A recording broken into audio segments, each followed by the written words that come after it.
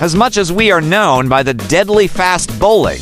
Let's not forget that the top wicket taker of all the time is a spin. So it is time to get into the science that brings the different. Ways of skills to a spin alive.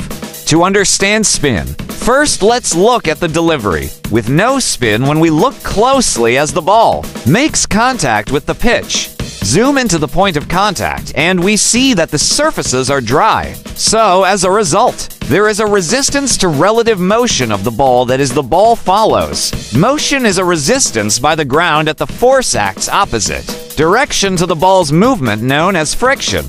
Now let's look at conventional off. Spinner in this case in addition to the slow forward motion. The ball has significant revolution.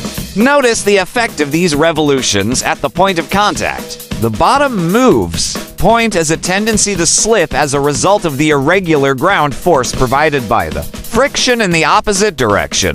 Just like a ball imparted with a backspin experiences, the friction and moves in towards you.